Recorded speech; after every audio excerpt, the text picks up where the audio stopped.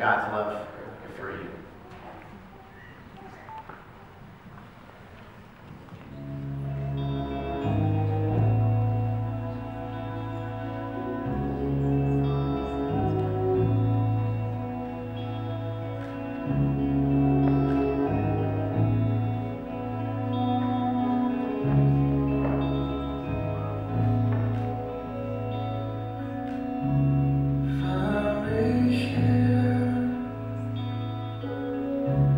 To me.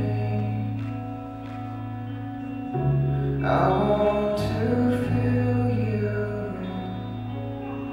I need to hear.